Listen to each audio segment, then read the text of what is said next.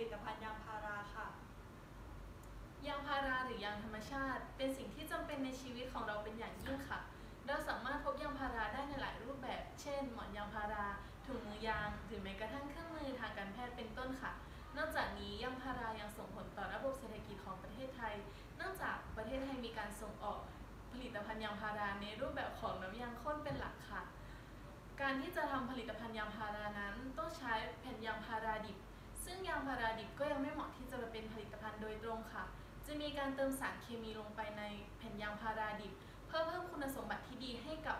ผลิตภัณฑ์ยางพาราค่ะ ซึ่งสารเคมีที่ใช้ในปัจจุบันนั้นก็คือขมเหลาดำขมเหลาดำที่มีราคาสูง ส่งผลกระทบต่อสิ่งแวดล้อมจากก๊าซเรือนกระจก และจะหมดไปในอนาคตอันใกล้ ดังนั้นการนำสารชีวมวลที่มีองค์ประกอบทางเคมีที่เหมาะสม มีมากในธรรมชาติและยากต่อการทำลาย มาใช้แทนขมเหลาดำนั่นก็คือหญ้าคาค่ะหญ้าคาสามารถเกิดได้ทุกฤดูกาลและถ้าหากเราเผาหรือทำลายหญ้าคาหญ้าคาก็สามารถแตกหน่อได้ขึ้นมาอย่างรวดเร็วเช่นเดิมค่ะ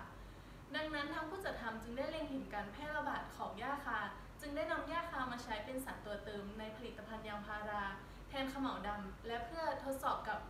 ขมเหลาดำที่ใช้ในผลิตภัณฑ์ยางพาราต่อไปค่ะ วัตถุประสงค์นะคะ 1. เพื่อศึกษาสมบัติ เชิงกลของสารตัวเติมหญ้าคาที่เผาที่อุณหภูมิห้อง 600 700 และ 800 องศาเซลเซียส กับขมเหลาดำที่ใช้เป็นสารตัวเติมในผลิตภัณฑ์ยางพารา 2. เพื่อศึกษาการนำหญ้าคามาใช้แทนขมเหลาดำในผลิตภัณฑ์ยางพาราค่ะสตอปไหมต่อเลยแล้วแก โอเค ตัด อ่าดื่มเด้ นะโอเค นับ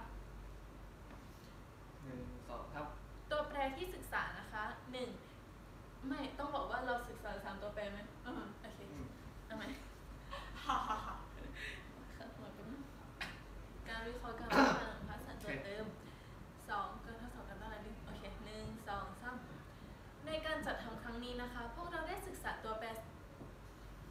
กูกู stop ทำไม งั้นเรากด stop แล้วเราถ่ายใหม่ไหม ไม่เอาเตอตัด งานจัง หนึ่งสองสามในการจัดทำครั้งนี้นะคะ พวกเราได้จัดทำสามตัวแปรด้วยกันค่ะ คือ 1. การวิเคราะห์การวัดขนาดอนุภาคสารตัวเติม 2. การทดสอบการต้านแรงดึง 3. การทดสอบการรวมตัวของยางค่ะ การวิเคราะห์การวัดขนาดอนุภาคสารตัวเติมนะคะ ตัวแปรต้นคือ สารตัวเติมขมเหลาดำและสารตัวเติมหญ้าคาที่เผาที่อุณหภูมิห้อง 600 700 และ 800 องศาเซลเซียส ตัวแปรตามคือขนาดอนุภาคสารตัวเติม ตัวแปรควบคุมคือ เครื่องมือที่ใช้ในการวิเคราะห์ และปริมาณของสารตัวเติมที่ใช้ทดสอบค่ะ 2. การทดสอบความต้านแรงดึง ตัวแปรต้นคือผลิตภัณฑ์ยางพาราที่เผาอืมอะตัวการทดสอบความต้านแรงดึงโอเคการทดสอบสอง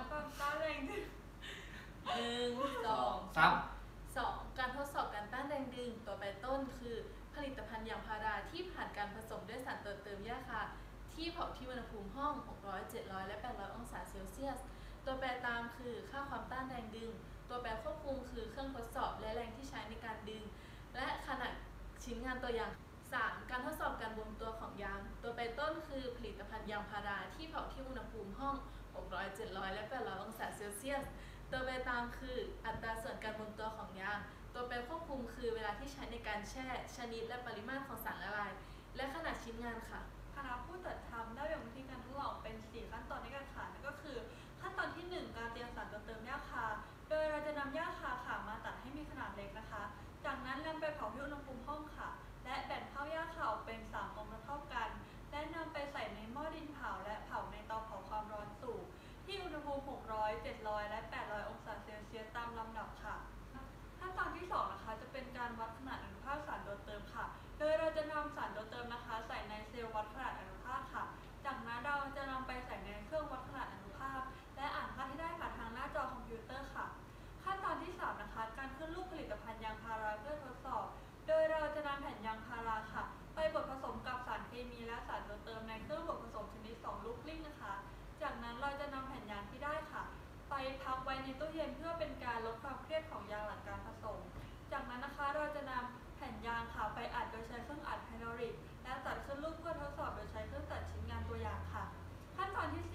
การทดสอบสมบัติเชิงกล โดยสมบัติเชิงกลที่เราทดสอบจะมี 2 คุณสมบัติด้วยกันค่ะนั่นก็คือ สมบัติที่ 1 นะคะ การวัดค่าความต้านแรงดึงขา โดยเราจะนำผลิตภัณฑ์ยางพารานะคะใส่ในเครื่องวัดความต้านแรงดึงขาะจากนั้นนะคะรอจนเครื่องดึงชิ้นงานจนขาดค่ะ และอ่านค่าที่ได้ผ่านทางหน้าจอคอมพิวเตอร์ค่ะ สมบัติเชิงกลที่ 2 ก็คือการรวมตัว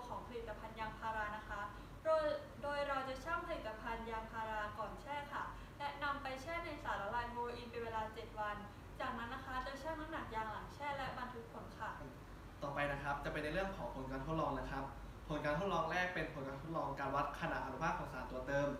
จากผลการทดลองนะครับพบว่า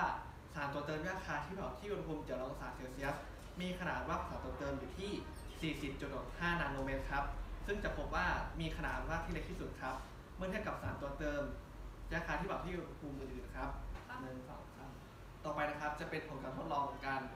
วัดค่าความต้านทานแรงดึงนะครับ จากผลการทดลองพบว่า ผลิตภัณฑ์ยางพาราที่ผสมสารตัวเติมยาคาที่เผาที่อุณหภูมิ700องศาเซลเซียส ให้ค่าการต้านทานแรงดึงมากที่สุดนะครับ ซึ่งมีค่าเท่ากับ 20.28 บวกลบค่าความคลาดเคลื่อน 1.22 เมกะปาสคาลครับ ซึ่งจะพบว่า